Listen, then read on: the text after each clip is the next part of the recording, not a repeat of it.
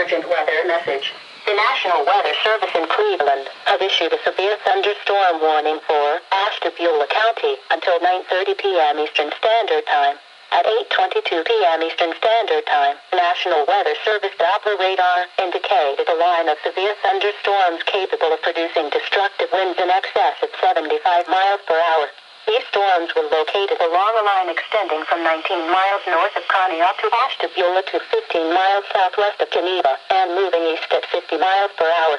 Locations impacted include Jefferson, North Kingsville, Conneaut, Orwell, Andover. This storm has a history of producing damaging winds.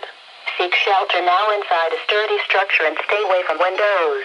A tornado watch remains in effect for the warned.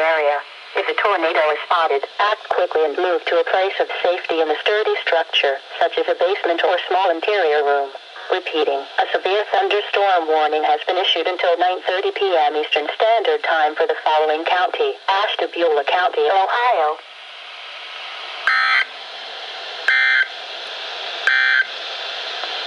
An urgent weather message.